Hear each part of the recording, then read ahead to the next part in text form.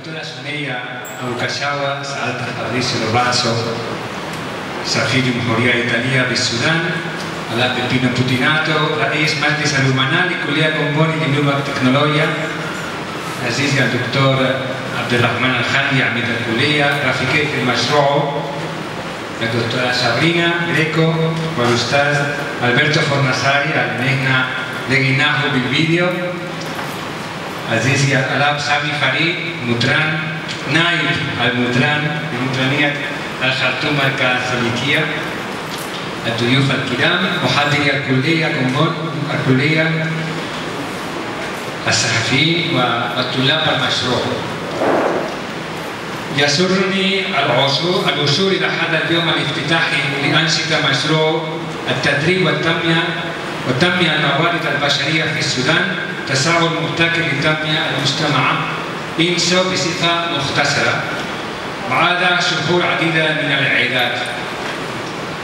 وعندما كتبتني الدكتورة سابرينا غريكو في شهر أغسطس 2016 وطلبت مني مقترحات لإعداد مشروع يلبي احتياجات المجتمع السوداني ويتناسب مع الأهداف والشروط التي وضعتها وزارة الداخلية الإيطالية لتمويل المشاريع. ركزت على الهدف الأول من الأهداف الأربعة المذكورة في إعلان الوزارة وهو تعزيز التنمية الاجتماعية والاقتصادية ولازما من خلال إنشاء فرص عمل للأجيال الشابة. ده الهدف نحن تركزنا عليه لما فكرنا في وضع المشروع. وفي تحليلي وضعت هذا الهدف فيما يتعلق بتحديين من التحديات التي ناقش فيها مدراء الجامعات وعمدائها ووكلائها في بعض لقاءاتنا في وزارة التعليم العالي والبحث العلمي. وهما يعتبر التعليم الجامعي نظريا جدا وجدل الطلاب صعوبة في الدخول في سوق العمل بعد تخريجهم والتحدي الثاني يحتاج السودان إلى البحث العلمي المحلي ولكنه يجد صعوبات أكاديمية ومالية. ومرات كمان أنا أزيد إنه عدم الثقة لما في باحث طبعا في مواد التكنولوجيا ما في مشكلة ولكن في المواد بتاع العلوم البشرية لما في واحد بيفتش انت قديش مزود. يعني في شوية خوف كمان. السودان في موضوع البحث.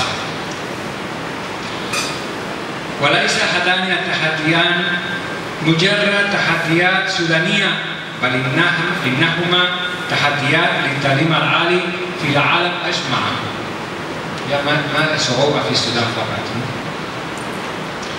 ويؤدي الافتقار إلى فرص العمل بين الشباب إلى شعور بالإحباط ويعطل عدم البحث العلمي التنمية لأن البحث يعتبر المورد الرئيسي لتوليد مشاريع التنمية المستدامة.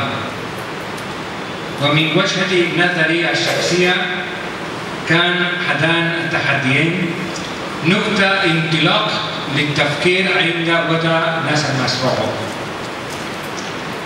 وبمجرد أن كان مسودة المشروع جاهزة شاركنا البروف عبد الرحمن الخندي وأنا مع المدير العام للتعليم العالي الأحدي ولدنا بحنايد الأستاذ الدكتور عبد الحافظ الطاهر ومن عيبه الدكتور محمد إسماعيل يوسف عن الإمكانية المتاحة أمامنا وبعد الاستماع إلى المبادئ التوجيهية العامة للمشروع والمناقشة فيها ذكر الأستاذ الدكتور عبد الحافظ نجحكم نجحنا في هذا المشروع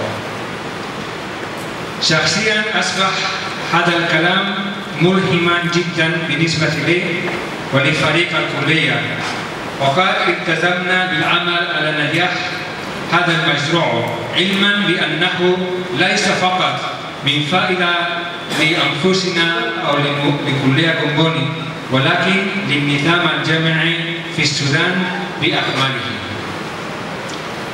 وكانت روح التعاون هذه ودعم الوزارة وزارة التعليم العالي دافعا كبيرا لنا.